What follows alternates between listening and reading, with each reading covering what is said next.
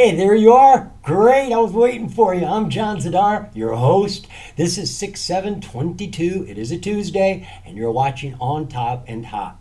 And what I do here is I like to share my due diligence on OTC and penny stocks, stocks that catch my attention, or stocks that are catching other investors' attention, or maybe even a stock that isn't catching anybody's attention, is just simply under the radar. Now, I've got a few stocks today that were strong on the charts, kept some impressive gains. But uh, look at the catalyst, the news that came out today for them, not so impressive.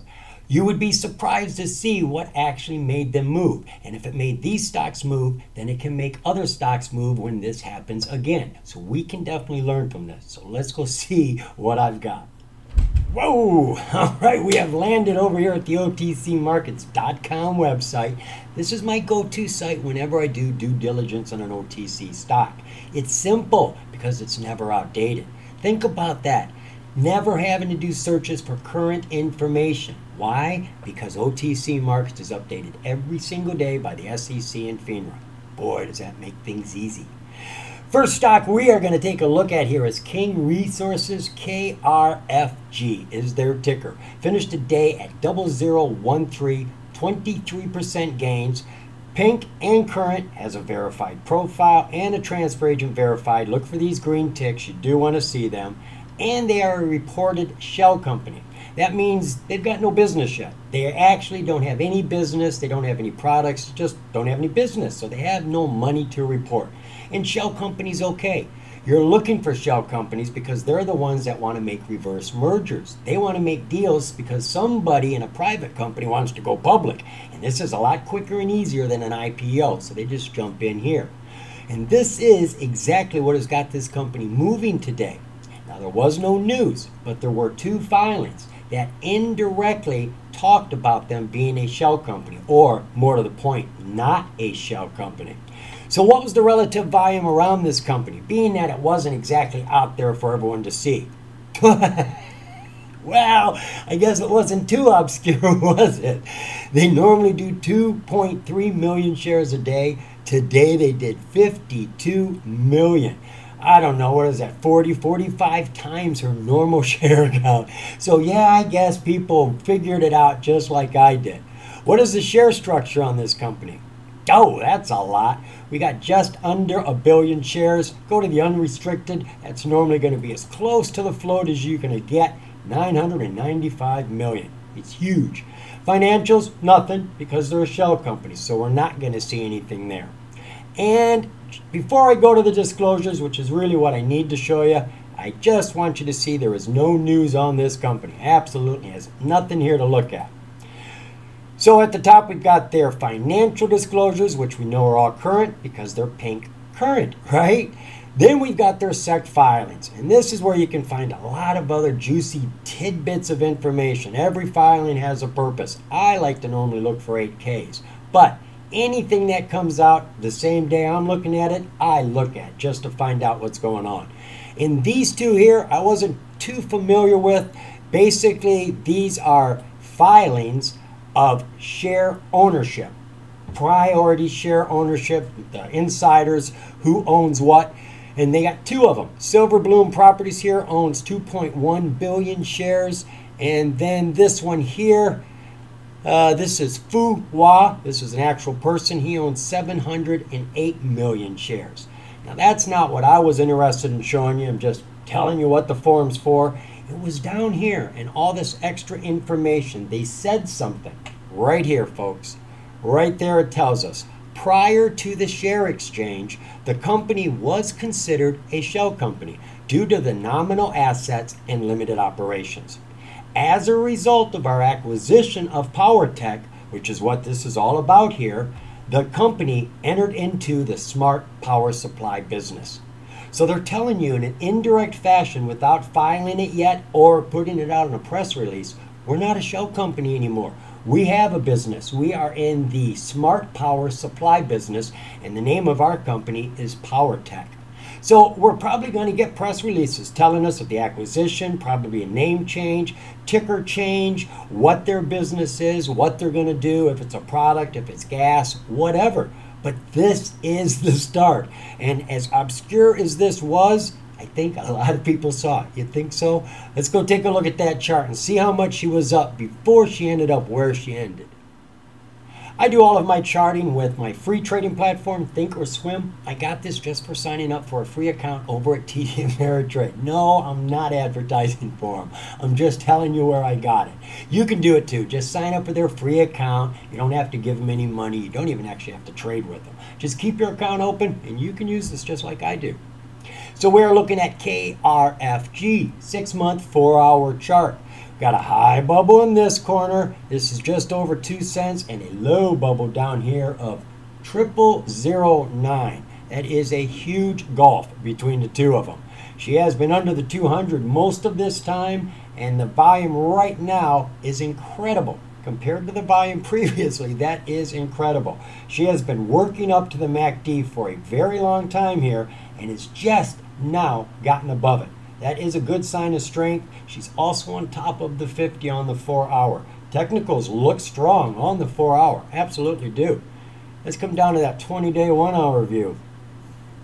All right, so she was underneath the 50. She hit a low bubble here, which provoked her enough to give her enough nitro to get up on top of that 50. She rode up on the 50 for a few days, fell down to the 200, and today she bounced. Now it looks like the information may have been released in the middle of the day because that's when our surge came into play. And she really jumped, didn't she? She got all the way up here to double zero two one. And she was all the way down here at double zero one. So that's over a hundred percent jump right there in one hour. But boy, she gave a lot of it away. But she's right on the 200, which is a fantastic place to settle if you just jump from the 50. Nice landing. Technicals are starting to show some pullback, but you can see why. Let's look at that five day, five minute.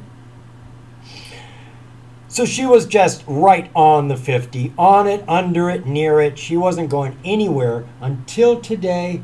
Maybe that filing came out earlier than I think. She took off here at, uh, oh, okay, that's 11 o'clock. At 11 o'clock in the morning, she decided to take off. That from yesterday, it sure is. So it wasn't until 11 o'clock in the morning this surge started. And it did get all the way up here at, well, 30 minutes later. 30 minutes later, she had gone 100% and then fell back. And I don't think she kept 50%. If I draw a line at the top and the bottom of the surge and then split it in the middle, you can do it mathematically or you can eyeball it and just get a close proximity. She is underneath the halfway point. Now I draw that because when you have a strong surge, I expect it to hold 50%. Or in other words, I expect to throw away 50%. Absolutely do. Unless you're in it for a day trade. You get in this and it rises, yeah, get out up here. How do you know where up here is? Well, as soon as it starts to fall, take your gains. Don't get greedy. You know you've gotten that much. Take it. But she comes down to here and holds it, stops right here. I don't care on top, underneath. Just stay in this vicinity. Chances are she will continue on or at least stay there. But if you come below it, like she has now, you will find the next strongest SMA and pounce on it. And if it's really weak, she's just going to keep falling and falling. So I hate to see her go under the halfway point because normally it's a definite sign of weakness. And as you can see, all the technicals are falling away right now. She looks like she wants to continue to fall. I wouldn't even hope for a bounce on this 20. I think she's going to at least come down to the 50, which is what she's most accustomed to. Now, do I think she's going to continue running? Not until she gets a press release. That was interesting news. She's not a shell company. She's made a deal with this power tech, and now she's got a business. The more we know, the more it's going to grow. We'll start investing in it when they start telling us more. So keep your eye out for some news presses for KRFG. The next stock we're going to take a look at that was moving curiously today is Energy Focus Inc., ticker EFOI. Now, this is on the NASDAQ. It is a penny stock at $2.28. Any stock under $5 is a penny stock. Doesn't matter where it's sold, it is a penny stock.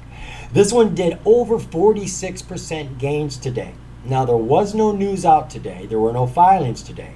There was a news press on June 3rd, and there was a filing yesterday, and both were about the same thing. But the stock took off today And I do think I understand why. I'm going to share that with you here. So, what was the relative volume around this company? Well, she normally does 4.2 million shares. Today she did almost 20 million shares, about five times as much. So people were paying attention. Ooh, share count is nice. We don't know exactly what the float is, but I do know it's less than 6.4 million. So, however you slice it, it is a low float. Anything under 10 million, you should take seriously as a super duper low float. So, this is incredible.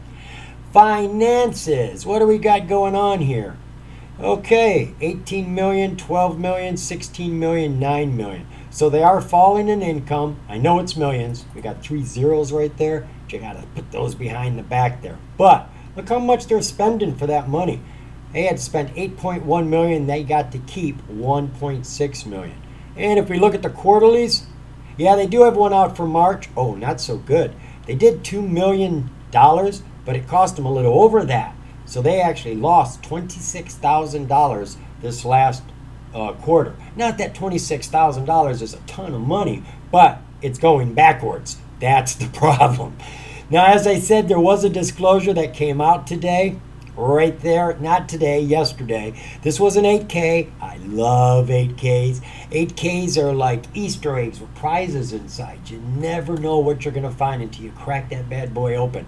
Could be a reverse merger or an acquisition. It could be just letting go of management or bringing somebody in. You never really know what it is, but there could be a real goodie in there. Now, this also came out as a news press, which is just a little easier to read. So, we're going to take a look at that.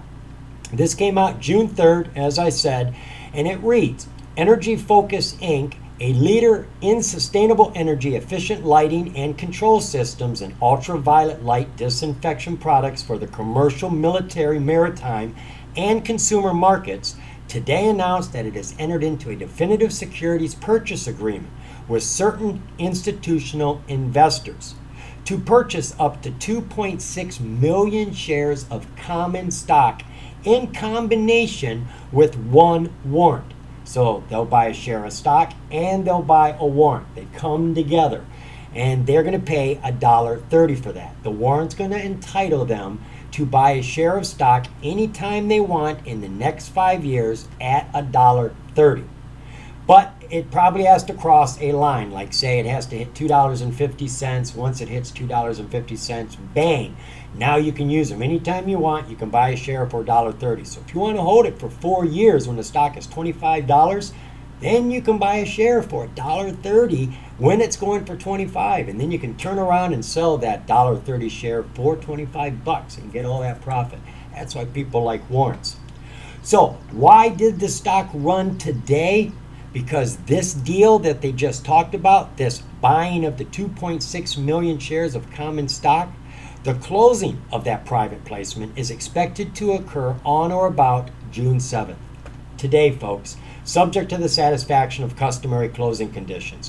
What I am presuming happened is they started buying those shares, 2.6 million of them, and got the price moving up. And when people saw the volume, they jumped on the bandwagon, didn't they? So this thing took off. Now, I'm a little curious though because I do see these sort of things before, and the companies will say buy the shares at a dollar fifty, but the current price is 85 cents. Well, that's what excites everybody. You see somebody else is willing to pay a buck fifty for a share that's going for 85 cents. First thing that happens is the price runs right up to a buck 49. That's right, it'll stop a penny just before a buck 50. It just won't go over it.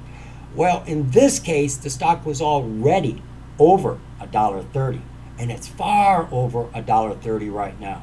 So I'm a little confused. In any case, let's go take a look at the chart and see what it does show. EFOI, standard operating procedure, six month, four hour chart. We got an impressive high bubble here of $6.12 and a low here about a month ago of 76 cents. And right now we're at $2.28. She's been under the 200 the entire time, except this wild surge right there. She jumped from $1.95 all the way up to that 612. That's about 300% gains right there. And I'm not too sure what happened here. Little DD will tell you. But it all fell away, fell hard. Until here, she's now gotten back above that 200, which is virtually level because so little has been going on with this stock. But here on June 1st, yeah, June 1st, I haven't got a clue what happened, but look at that volume.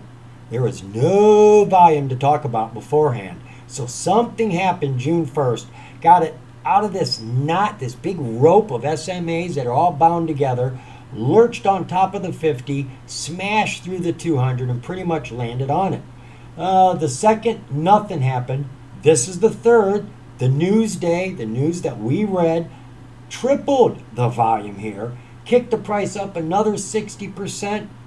Then you have yesterday, which the filing came out. Not a whole lot of activity for the filing.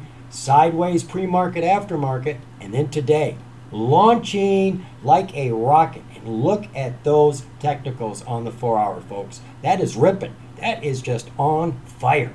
Let's take a look at that 20 day one hour view. So she was all knotted up here. You can see there's not anything going on. There is that volume busting in, and that is a 100% gain right there, folks. This is a 60% gain, and that right there is a 120% gain. So this thing is ripping. It is actually ripping on this news.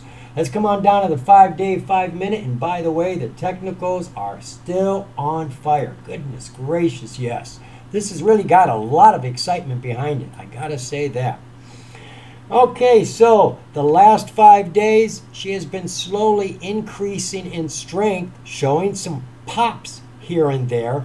But today, she really took off. And look, I didn't realize that was aftermarket. Should have made this video faster, shouldn't I? Yeah, here's where the bell ended the day. She fell, hit her 250, I guess you could call it the 200 Hull, which is a lot like your 200 day SMA, which just takes 200 days, averages them together. Voila, you've got a point on the chart.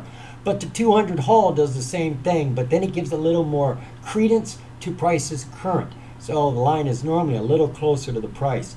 So she got right down here to about 220 and launched $3.65. Oh my gosh, folks. That is 35, 40% gains right there after market. So do I think she's going to continue running? Well, chart sure looks like it, doesn't it? Um, there's not a whole lot to be said. You know, they've told us that you have an investor that's buying shares and buying warrants. And understand this, folks. For every share they bought, 2.6 million, they bought one warrant as well. Those warrants are going to be cashed in for shares, which means that's another 2.6 million shares that'll be thrown onto the outstanding share count. That's the thing about warrants. Once they're cashed in, they dilute the share count. So, yeah, it's a good thing right now, but down the road there will be some dilution if you consider 2.6 million a big dilution. But that's what I think has got this running. I think they started buying their shares of stock. Now, maybe this is all investors here, and that's them buying their stock. I don't know. I honestly haven't got a clue. They may not have even done it today. They said on or about. So, I mean, really, they could be doing it tomorrow. I have no clue. You can actually do some deeper DD and see where the purchases came from if you're really curious about it. I'm not going to go there, but it can be done. All right, let's go take a look at another curious mover. Now, this actually is an interesting stock. We don't normally get to see stocks like this, and I'll explain what I mean in a minute. This is Zhangmen Education, a Chinese education company that teaches kids from kindergarten to 12th grade online. But as I said, they're a Chinese company. However, they do have an office right here in the United States. Their ticker, ZMENY. They finished today at 40 cents with almost 33% gains. Now, they're on the pink tier and they're current, but that's a new thing for them. Fact of the matter is, this company just got demoted, delisted actually. They were on the New York Stock Exchange and got kicked off. They sure did. And I saw this at a much higher increase earlier today, which is what caught my attention to it. You got a stock that was delisted throwing down to the OTC, and now all of a sudden, I think I saw it at 50, 52% gains when I looked at it. And it's like it's already up 52% after being delisted. That's a little interesting. Now, they are under a dollar, and any stock under a dollar for too long is in jeopardy on any of the major exchanges. But that's not why they got kicked off. I'll show you why they got kicked off here in just a minute. So, what was the relative volume around this company? Egads. Not much. Holy cow. 48,000 shares is what she normally sells each day. That's right, thousands. There's no zeros to bring down here. And today she did 120,000, a little over twice her normal share count. And it's not very big. But that is a legitimate gain, is it not? Share structure. That's right, they didn't have anything brought over here yet. I went and did a Google search, tried to put my finger on it. Best I could find, outstanding share count is roughly 19 to 20 million, and the float is somewhere between 11 and 17 million. So it's not a bad float, not bad at all. Financials. Well, they didn't get kicked off because they weren't making any money. Uh, they did just about $700,000. Again, bring down those three zeros. And they spent 378000 for it. So they got to keep uh, just a little under half of what they make, which isn't bad at all. Now, there is a disclosure I want to show you, but I also want to show you that this was backed up by news. Right here on June 2nd, New York Stock Exchange to suspend trading immediately in Zhangmen Education and commence delisting proceedings. Boy, it happened quick, didn't it? This was on the 2nd, and today is the 7th. So let's jump over to that disclosure. The disclosure came out one day after that did, so it is a little late. But now is when they're on the OTC. They just got here. So this tells us, let me jump in there. This is the form 6K. You can see they are from the People's Republic of China. That's where their company is actually from. And they tell us here that New York Stock Exchange made a decision to delist this company because they could not keep up their global market capitalization of at least $15 million for 30 days straight. Now, of course, you get your price up on your stock, you get your market cap up. So the two are going hand in hand. But rather than say your price of your stock was too low, they uh, tell us that the market cap was too low. Has to be at least $15 million. And do they have the market cap on this yet? Let's come over here and see what they tell us. Uh, nope, see, market cap would be right there. So we know they're under $15 million, which is not cutting it on the New York Stock Exchange. And they didn't come down to the QX, the best. No. They didn't come down to the QB. No. They came down to the pink. However, I do want to point out here this delisting and transition to the OTC markets will not change the company's obligation to file annual reports and certain other reports with the SEC. Now, I'm going to presume they're going to continue being transparent and auditing their financials. Most pinks don't. It costs money, and pinks are startup companies and normally don't have that kind of money laying around. So they just give us numbers and we take their word for it. But audited, that's a whole different story. So I'm presuming that Zhangmen Education will continue auditing their records even though they're a pink. All right, let's go take a look at that chart. I want to see how high she actually did get today. Well, as I said, it's a unique stock. We've actually got to look at two separate charts to look at this because it has two separate tickers. When it was on the New York Stock Exchange, its ticker was ZME. And that is where we get our six month, four hour chart. But under the ticker ZMENY, its new OTC designation, there's only two days of chart. And they are separate charts. So that's the way we got to look at them.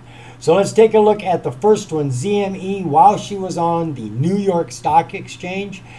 She had a huge, giant surge here. I haven't got a clue why. I did go see if I could see anything on the OTC news that they've got listed there, but this is back in December and the news didn't go that far.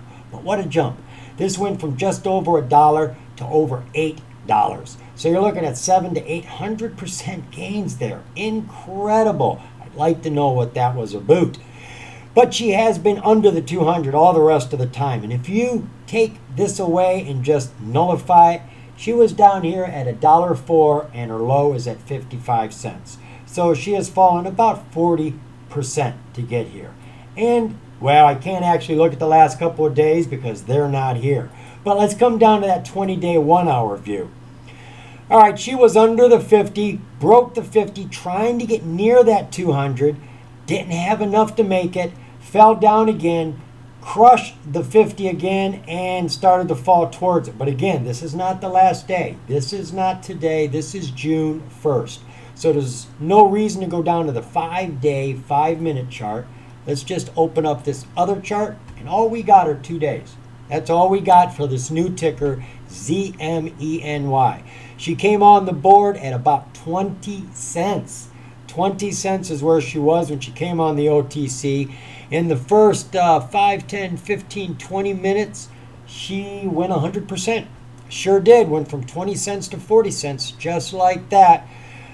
Gave away about half of it, took it back, and is just basically sitting up there right now. Here comes the 20 day SMA on the new chart, and she's about to bump into it. Now, I do see a lot of times the 20 has a lot of influence. So this could actually push this stock up again. But what this stock needs is some DD. Obviously, something's wrong with it if it couldn't get its investors to support it while it was on the New York Stock Exchange. Why did it go up today? Well, I'm going to take a guess. I'm going to say it's the new kid on the block. They were on the New York Stock Exchange. They have fallen down to the OTC. We're our own investors down here in the OTC market. And we see this new fish, and it's super cheap. And maybe some people think that it's worth a lot more because it was on the New York Stock Exchange and is well undervalued. And this would be a good entry price, regardless of what market it's on. It is still the same business. But of course, more DD is going to be the ticket. Now, if you were with me yesterday, you remember me talking about this stock, ticker INND. This is InnerScope Hearing Technologies. Now, this is a hearing aid company, not your everyday old fashioned hearing aid company. No, this company works with the cloud, artificial intelligence. I mean, they've got some new fancy products and they sell them through big box stores. As a matter of fact, it was yesterday that they reported a $10 million purchase from Walmart for 15,000 of their stores. So the stock took off yesterday. Well, today it's taken off again. We're at 57% gains. And the news, not catalytic. Not in my opinion. Matter of fact, there's a lot of people actually posting the exact same news right now. And I doubt they're getting 57% gain. So she could be running on the Walmart purchase still. Now, I'll explain why I think the news today shouldn't have it moving. At least not today. What was the relative volume around that news? Getting bigger. Look, today uh, we did 200 million. Yesterday we did 171 million. She normally does 17 million she's getting more and more buying volume every day. We could see a trend being created here right now.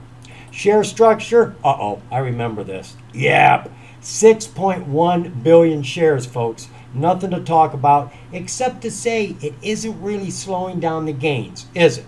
So let's not get too concerned about it. Financials, yeah, they're making money and they get to keep about two thirds of everything they make. So they're not doing too bad at all. Disclosures, we're not going to worry too much about that. So let's just jump over to that news. And we really don't even actually read the news. All we got to do is read the headline. This came out today InnerScope Hearing Technologies CEO to present at the Emerging Growth Conference on June 8th, 2022. Right? That's not catalytic news. There's probably 20 or 30 companies going to be at the Emerging Growth Conference. They're all posting this exact same piece of news. Now, I do expect this to cause a slight surge, not because of the news itself, but after June 8th, if the CEO presents this properly to the investors, uh, in a few days, maybe Friday on payday, when people get their money, they're going to buy shares of the stock if they're excited. But not today. So I honestly have no idea why that is running. I can only make presumptions that it has more to do with Walmart because that is for tomorrow, June 8th. So I would expect in a couple days, the 9th, the 10th, the 13th, to see some new shares of this stock being sold if the CEO does his job properly. All right, let's go take a look at that chart and see if we see a new trend starting here. This is a lot like deja vu to me. This is ticker INND, six month, four hour chart. We got that high bubble back here when she had that radical surge of volume. Can't remember what this was for. Not sure if I knew. But she jumped 250% to hit 0.024. And then she has fallen all the way down here to double zero two. That is over a thousand percent difference between the two. And you can definitely see we have a change in trend going on right now. Not only, but it is getting stronger. Look at those technicals, folks. This looks like a raging forest fire in the desert on a dry day. Definitely cooking. Let's look at that 20 day, one hour view. So she was doing hardly nothing, just hanging around the 50. Then, when the 200 got close, she pounced on it and has been running ever since and caning speed. Volume is getting stronger. Technical still looks strong, but we do have a pullback right there after market hours, as a matter of fact. Let's come in and take a look at that. Five day, five minute. So there was your jump for the $10 million Walmart purchase. And there's your jump for the announcement of the conference tomorrow. Really? I don't know, folks. I honestly don't know, but that is a huge, giant jump. She went from 0048 to 0079. That's over 60% jump right there. Though she did give away a lot.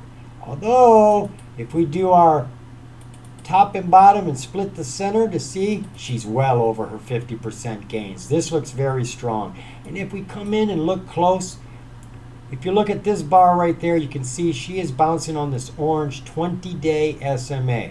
Then she bounced on it again right there. She argued with it here and is arguing with it again. This looks like the strong SMA. So I would watch what happens here. If she dips below the 20, she may come down lower. However, this has been showing a lot of strong buying volume. So I would keep my eye on INND. She hasn't been slack. Well, how about that? Four for the price of three. You like it? And did you notice what these stocks were running for? One got delisted. Yes, and it ran today.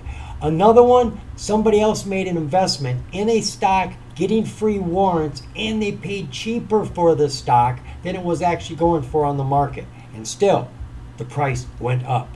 There's lots of reasons a stock will run, and we don't have to understand them. If you see heat, if you see that volume and that price is rising, it really doesn't matter why it's rising. It's giving money away. All you got to do is get into it. Read those charts and get out before it starts taking the money from you. There's lots of information out there, folks. Don't ignore the technicals. They have a lot to do with the money we make. Remember, folks, the more you know, the more you're going to grow. See ya.